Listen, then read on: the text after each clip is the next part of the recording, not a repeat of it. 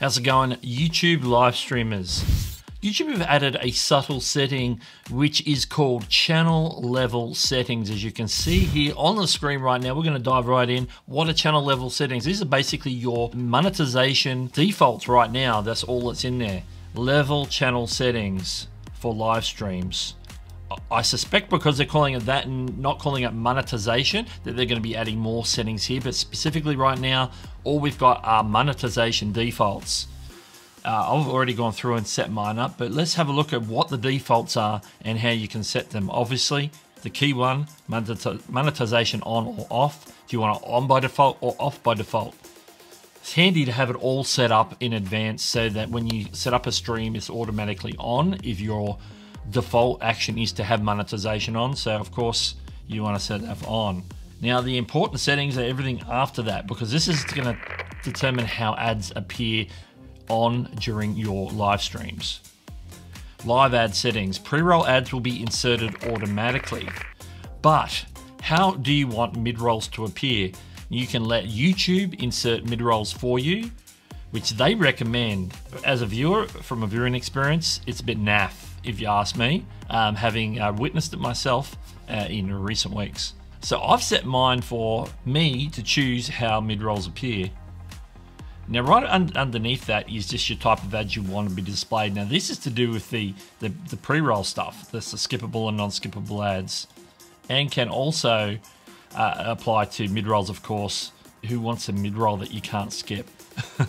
but sometimes you get them, unfortunately. And then you get the option at the bottom, choose how to insert mid-roll ads. Your choices are schedule mid-roll ads at a set frequency. So you can set it to show an ad every X number of minutes, for example or you can choose to insert them manually. Now you can insert ads manually and you haven't been able to do that for a while at on the live stream dashboard. I'll show you that right at the end. For the time being, the monetization defaults, so that's all there is. So I've set mine how I like them so already, so I'm gonna close that.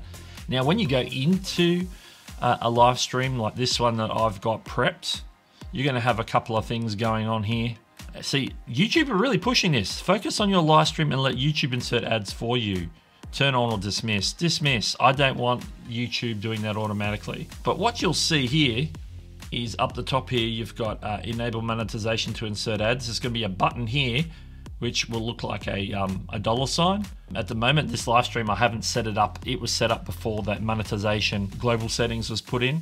So I have to go in and actually set that. But there, you'll get a button that has a dollar sign. So anytime you're streaming, and maybe you're going to do a BRB. So you're dropping your BRB screen, you can roll it out at the same time so people aren't missing the content because you're, you know, taking a bio break or something. Mm, for me personally, as a live streamer, I want to pick when the ads appear in the middle of the thing, like when I need to take like a breather for a second. So we'll be right back after this message. Maybe do a BRB screen because remember, not everybody will get ads. People have premium people um, may have just seen an ad and come in from a different video where they've seen an ad, so they're not going to get that particular ad roll right in front of them at that time. So that's what I would say. So that's the ad settings for now. Remember, of course, when you go into a live stream that you've scheduled, you can click on edit here and there is a whole monetization tab that applies to that specific stream. So you can see mine here is now set to on. It's basically the same settings, but this is where you can adjust it to maybe be different to your global settings. So this is the actual settings that are applied to your stream this one time. Well, that's the channel level settings so far for live streams. Only monetization options right now, but it appears that this is like this, the similar to like the default settings that you might have for regular videos that appears in the settings tab of YouTube Studio. These channel level settings are probably going to roll out to more live streaming functionality uh, going forward where you can set your channel defaults. Let me know if you're a live streamer and if this is something that's handy to automatically make sure that your monetization is turned on each time. Then let me know in the comments below, give it a thumbs up, and I will catch you in the next one. A big shout out and thank you to my channel members. You know who you are, and I've listed you on screen.